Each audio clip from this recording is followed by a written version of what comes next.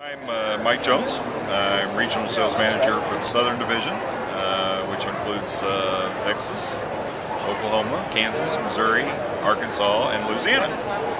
Uh, been in the industry a little over 25 years and don't know that I've ever been as excited about a new product introduction and the future of, of a business as what I am with Precise now.